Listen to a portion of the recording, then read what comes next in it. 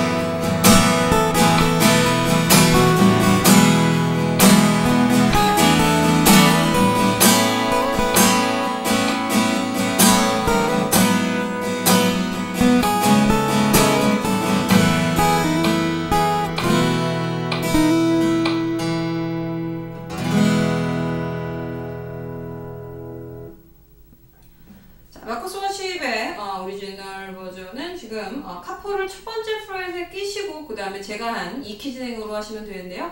일단 fret 보시기 조금 불편하실까봐 제가 capo를 빼고 했습니다.